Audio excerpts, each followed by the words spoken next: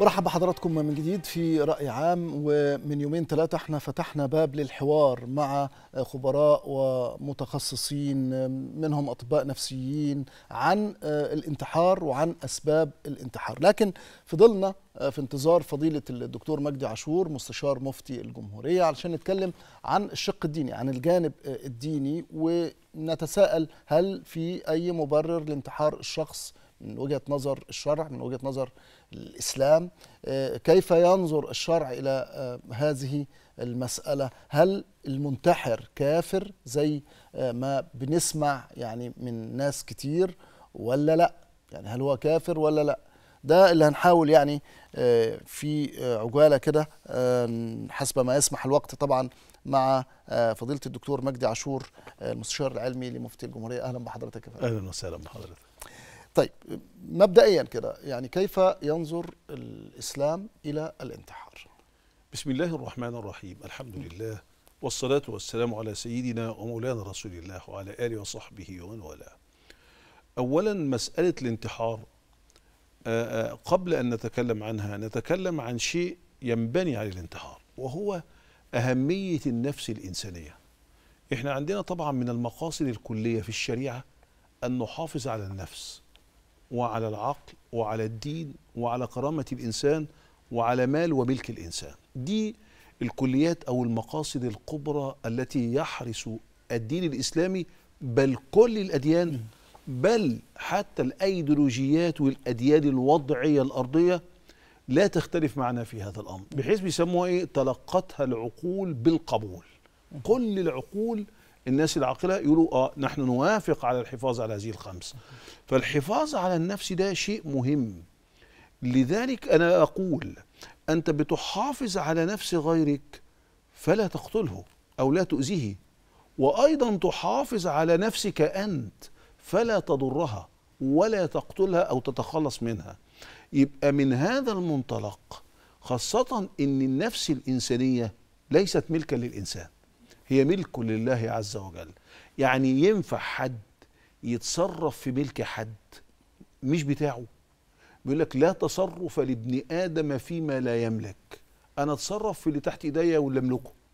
طب اللي ما يملكوش لا تتصرف فيه. ده حتى في الأمور الحياتية وفي العقود عندنا وفي المعاملات.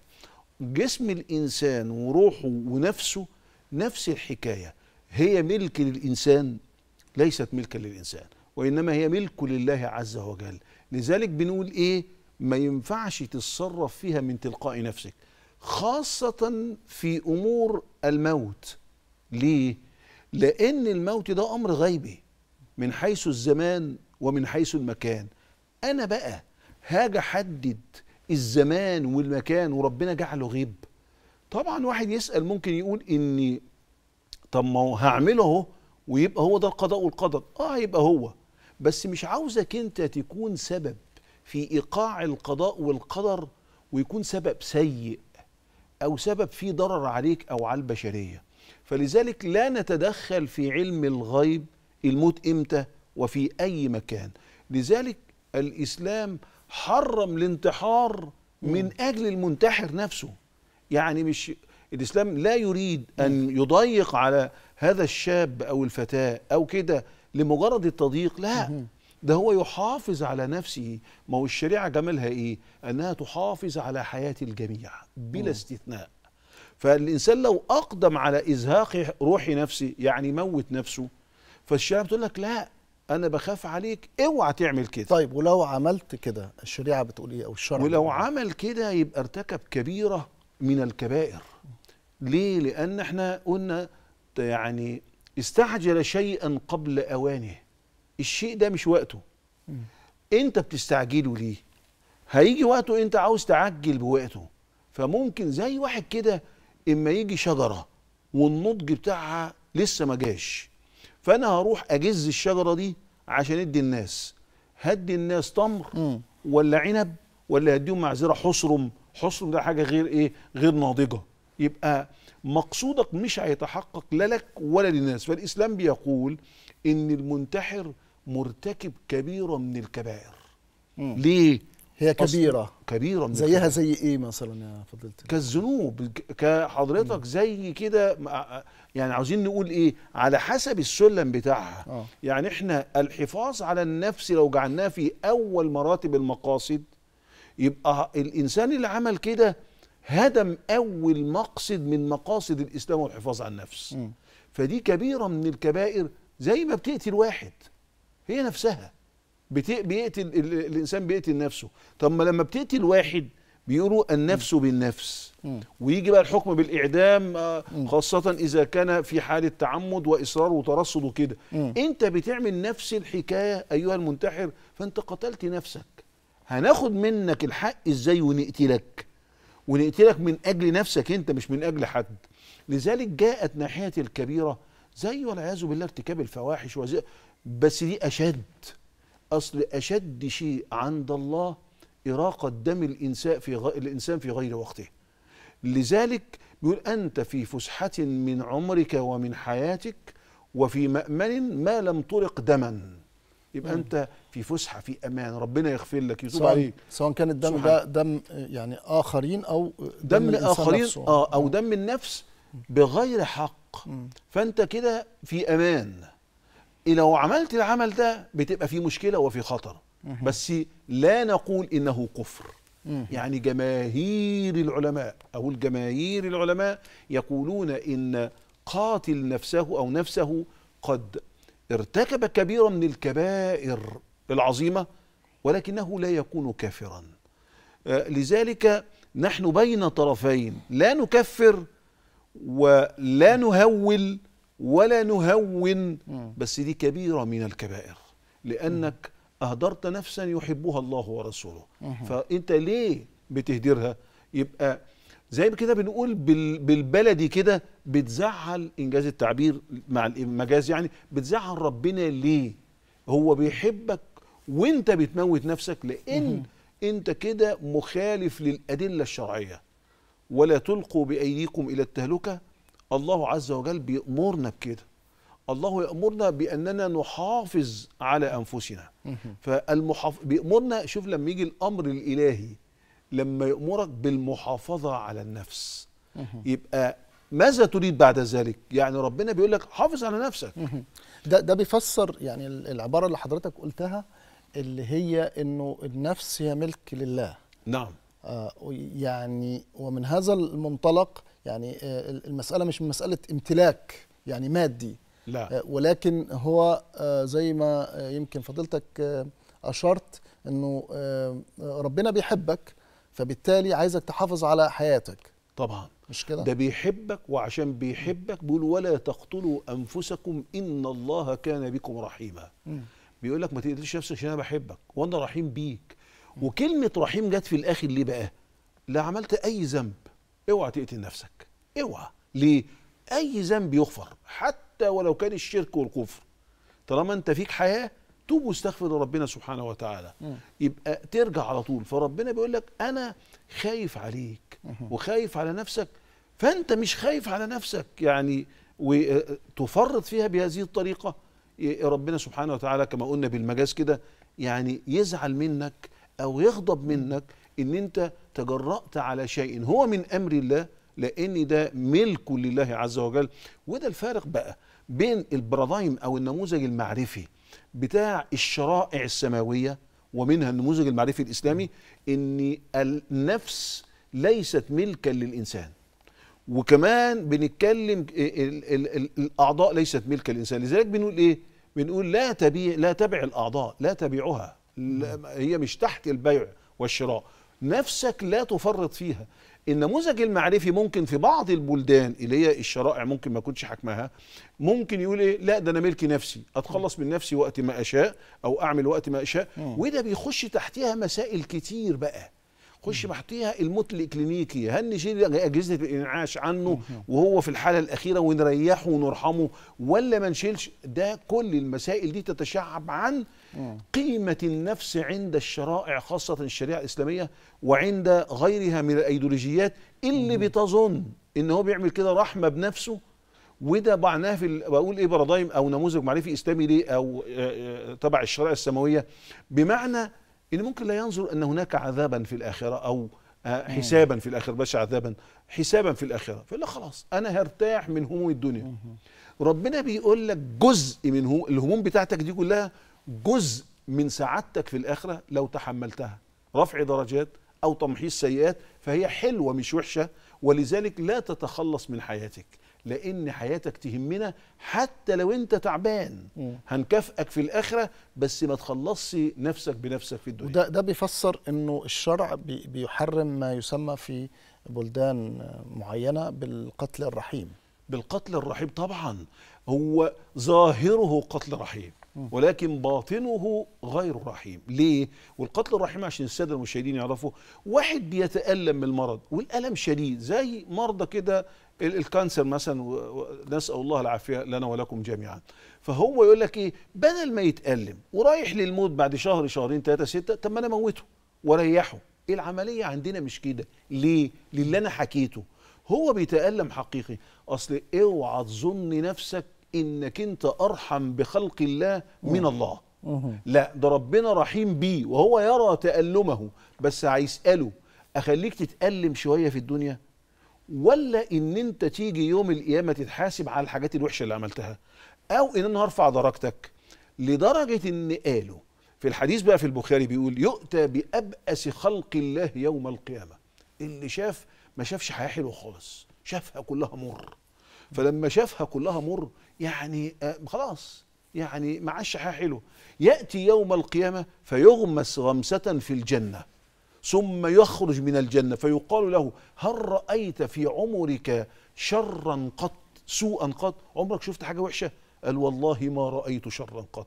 مغمسة في الجنة مسحت عذاب السنين كلها اللي عاشها في دنياه واخراه مع إنه تألم. بس النعيم اللي في الجنة الدائم الأبدي في جوار رب العالمين نساه كل ده. المعنى ده مش موجود عند البلبل والقتل الرحيم. مش موجود لأنه بيقول الإنسان يملك نفسه مم. البشر أرحم بالبشر من رب البشر. فبنقول له طيب أنت هتحرمه من حاجات كتير. اولا هتتدخل في موته والنفس ليست ملكا لك والروح.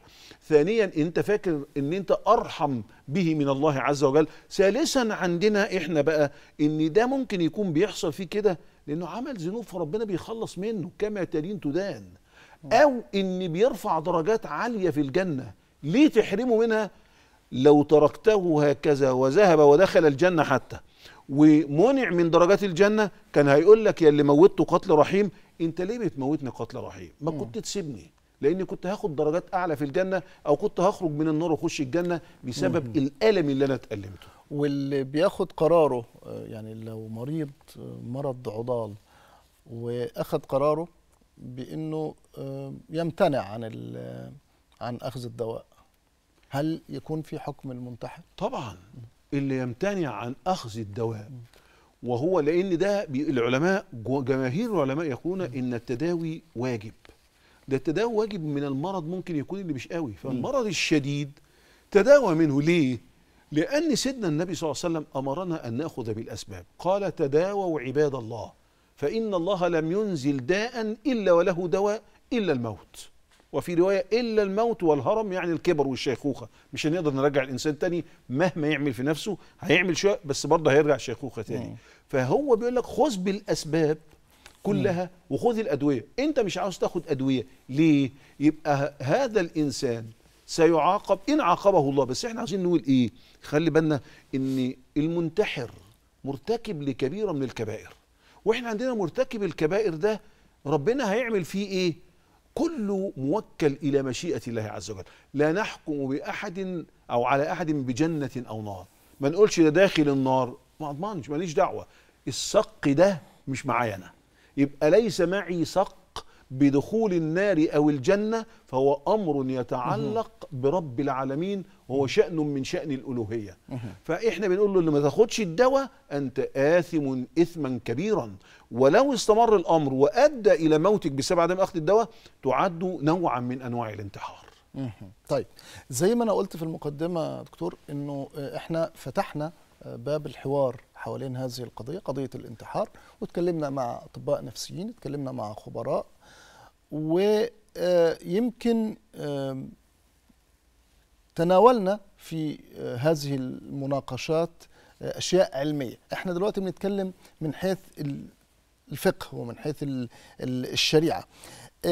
هل مسألة الانتحار دي أو من يفكر في الانتحار هل فيه مش طريقة ولكن هل فيه تعاليم معينة تخليه يتراجع. تعاليم دينية أنا أقصد. يخليه آه، يتراجع. يعني يفكر إيه؟ يفكر في إيه؟ علشان يتراجع عن هذه الفكرة. اولا طبعا العلم النفسي هنا داخل مع الشريعة في هذا الأمر. لأن لابد أن نقف على أسباب الإقدام على الانتحار. ودي فيها دراسات في المركز القومي للبحوث الاجتماعية والجنائية والجهات المختصة بعلم النفس. ففي أسباب كتيرة. الأسباب الكتيرة الإحباط. الأسباب الكتيرة شيء متصور إن هو ملوش لازمة في الكون. أنا عاوز أقول لكل واحد ليك لازمة في الكون ولو مجرد ذكر الله عز وجل. ولو مجرد إنت هتخدم واحد ولو مجرد إنت تبتسم في وجه واحد ده ليك لازمة. مفيش حد مخلوق ملوش لازمة ابدا. مهما ضعف ده لازمة لده وده لازمة لده. إحنا عندنا الشريعة كده متكاملة. يعني الغني يبقى ليه لازمة والفقير ملوش لازمة؟ لا ليه لازمة. المريض والسليم نفس الحكاية. فهو عندما يقدم على الموت أو الانتحار أو بيفكر لابد أن نقف على الأسباب. السبب الرئيس بقى اللي هو حالة اليأس. ولا تيأسوا من روح الله فإنه لا ييأس من روح الله إلا القوم الكافرون. والكافرون هنا بمعنى إيه؟ كفران النعمة لأن الروح دي نعمة مش خروج من الملة لا. يعني تكفر بالنعمة ليه؟ وروحك موجودة ما تكفرش بيها فتتخلص منها. فبنقول حالة اليأس دي اوعى لأن لو الوقت قدامك الدنيا ضلمة سواد حالك بعد شوية ستبدد هذا الظلام وربنا هيفتح لك طاقة. الظروف هتتغير كلها. كل يوم هو في شأن فالظروف بتتغير. فاحنا بنقول له انت لأن بعضهم بيقول إيه زعلان ال- ال- اللي هو المنتحر ده. ممكن بيبقى زعلان لك ربنا مش مديني زي مدي الباقيين. فأنا هخلص نفسي بنفسي وارتاح. واحد تاني بينتحر من أمور اعتقادية. فيقول إن أنا ماليش لازمة في الوجود فهموت نفسي. أمور كتير لو وقفنا عليها هتلاقي أسباب بسيطة جدا. مم. لذلك عندنا في دار الإفتاء المصرية وحدة اسمها وحدة بنسماش بقى الإيه؟ ما بنسماش وحدة ضد الانتحار لا بنسميها وحدة الحوار. الحوار. الحوار. مم. فاللي يكون عندنا فبنجيبه لما يكون حالات زي كده بنقعد معاها. بنقف على إيه المشكلة اللي عندها. مم. فلو مشكلة إيمانية نبتدي نتكلم. لو مشكلة حسينا فيها ناحية نفسية اجتماعية نبتدي نستعين بعلماء النفس وعلماء الاجتماع. لسه حضرتك يعني بدون وما أعرفش ذكر الأسماء جالي على الواتساب حد بيقول إن أنا يعني يعني هو الانتحار كفر. فأنا بقول له لا ليس بكفر ولكن كبيرة من الكبائر. فالمهم بعت أو بعتت معرفش ان طيب بس أنا سمعت حد بيقول كفر. قلت له لا ده جماهير العلماء ما بتقولش كفر ده كده كله على الواتس حضرتك وحد أنا ما اعرفوش أصلا يعني عارف رقمي فبعت لي. فالمهم بعت أو بعتت بتقول طيب طالما مش كفر أنا هموت نفسي. ما أنا لسه عايز أقول ما آه هموت نفسي بقى يشجع. الناس آه. على على مسألة الانتحار؟ لو بس يبقى ما أنا قلت مش كفر بس قاتل. اوعى تفتكر ان أنت تختلف لما تقتل نفسك. عما تقتل غيرك. لو واحد قتل غيره مم. قتل كده وحرمه من الحياة وحرم الناس منه. زيها بالظبط. عندما تقتل نفسك وتحرم الناس منك.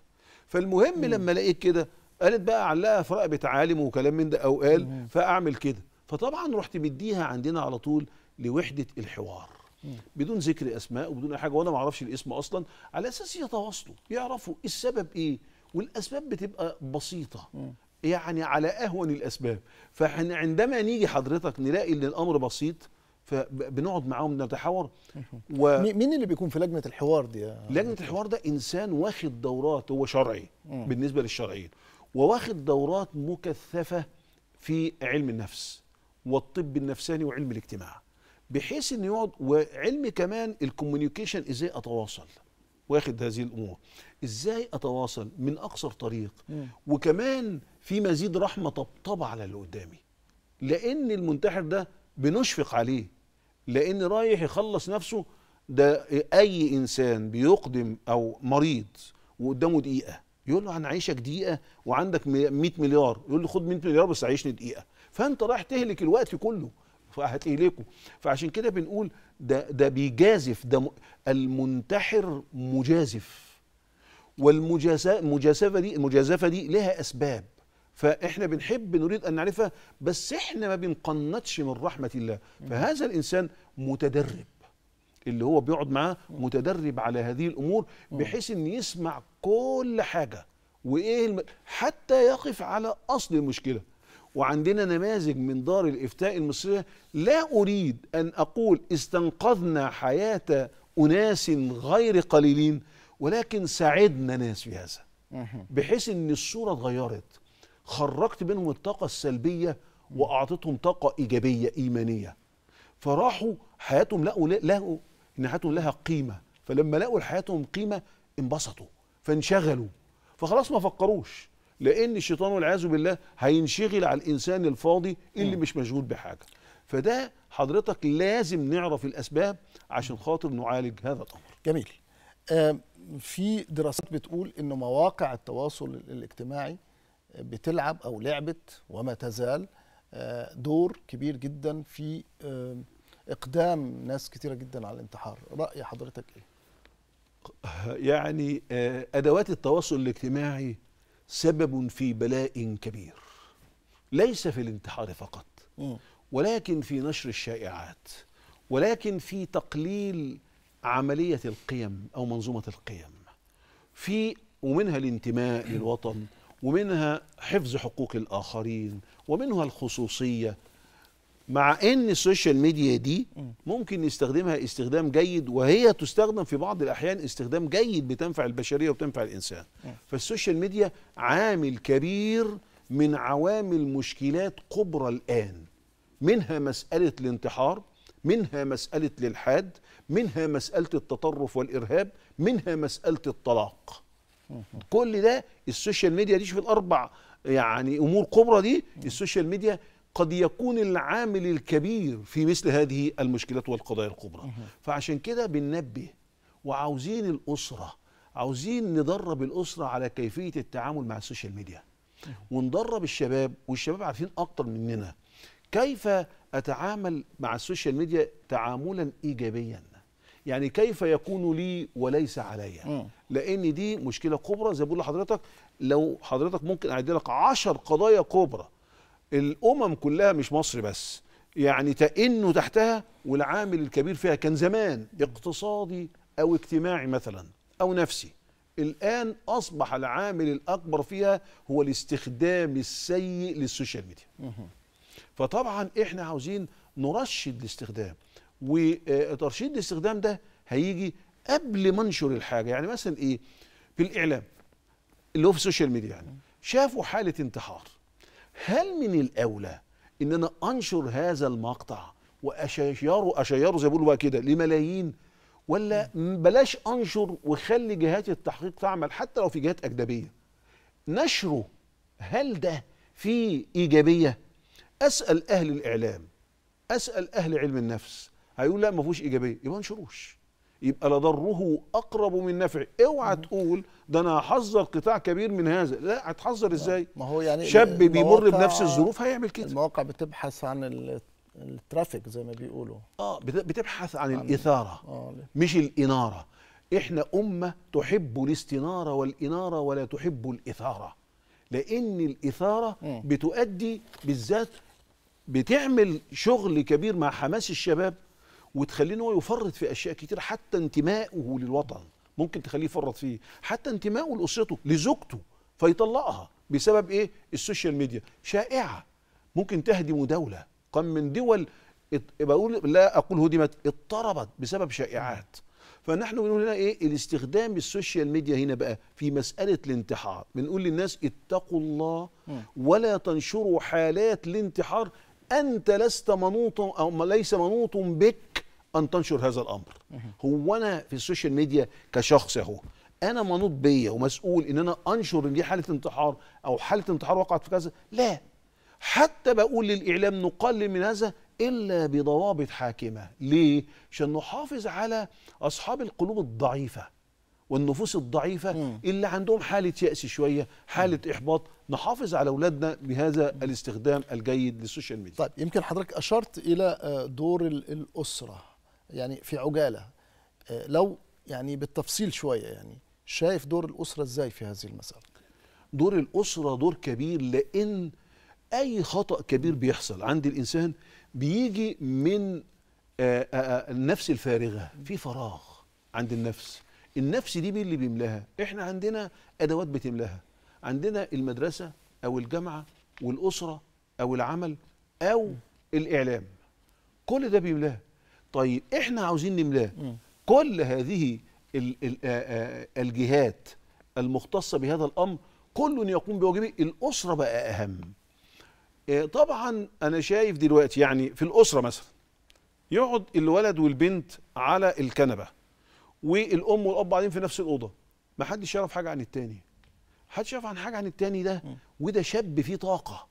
وبعدين ده المشكلة دلوقتي يا دكتور عمرو إن الشباب ما بقاش يطلع الطاقة زي الأول. لا هو عاوز يعمل جيم ولا يروح رياضة وقاعد على ال social media على طول في مكان واحد. كيف ستخرج الطاقة؟ ده زمان لما كانش فيه social media كان الناس تخرج من البيوت تروح النوادي أو مراكز الشباب أو تتمشى أو أي راح مع صاحبه وهكذا. دلوقتي يقول لك صاحبي هو ال social media. المدرسة بتاعتي هي ال social media. الجامعة بتاعتي هي ال social media. مراتي أهو ممكن استعيض عنها بال social media. طب هو بقى خلاص هقعد في البيت على طول فأصبحت مشكلة في كبت هذه الطاقة عند الإنسان. فلذلك بنقول الأسرة هنا الأب بقى. أين وجود الأب والأم؟ روح المرح روح المناقشات ال- البسيطة الجميلة روح التعاون في أخذ رأي في البيت روح الخروج مع بعض. يعني ال weekend والحاجات دي كلها نهاية الأسبوع. فين الحاجات دي كلها؟ والحاجات على فكرة في واحد يقول لي weekend إيه وأنا معيش فلوس؟ هنقول له زمان كنت تعمل weekend من غير فلوس. ال weekend هتتمشى على على كوبري قص النيل. أدي weekend ما فيهوش حاجة مش هتتكلف حاجة. بس تمشي والحركة فيها بركة كما يقولون السعي والحركة. فإحنا الحاجات دي الأسرة لازم تلتفت ولازم الأب والأم يعرف ابنه حالته النفسية عاملة إيه. وبنته خاصة في وقت المراهقة وعند وهو طالب في الجامعة وبعد التخرج. ليه؟ منتظر بقى عاوز أشتغل.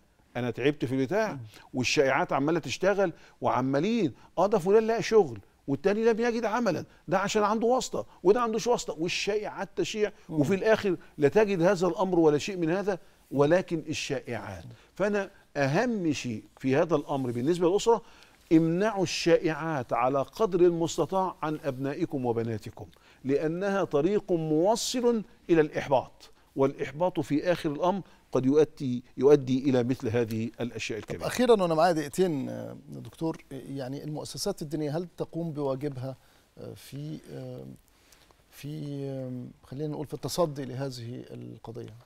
أنا ما أقدرش أقول في أي قضية إنسانية إن أي جهة تقوم بواجبها. مفيش. ليه؟ لاننا بنطلب المزيد دوما. أنا ضربت مثال على الم- المصلحة التي أنا فيها المؤسسة دار الافتاء المصريه بنعمل هذا جهد المقل كما يقولون. ينبغي كل المؤسسات زي ما قلت لحضرتك يقومون بهذا. يعني مثلا أنا أعمل في خطبة الجمعة أتكلم عن الانتحار بطريقة بين الترغيب والترهيب. الترهيب عشان ما هونش من مسألة الإيه؟ الانتحار. وإن ده عمل بتقتل نفسك وإن أنت كده هتغضب ربك. يعني مش هتروح ترتاح في الآخرة.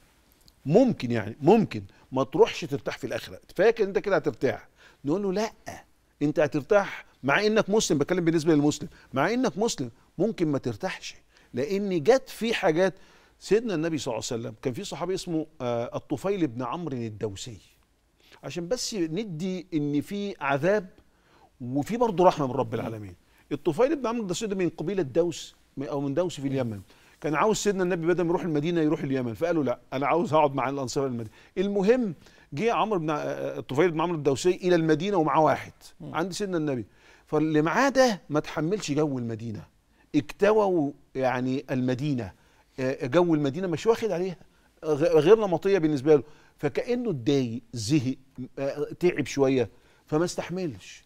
عمل إيه؟ أخذ مشاخص سكينة وراح قاطع براجمه هذه اللي هو الشرايين. وقعد تنزف لحد ما مات.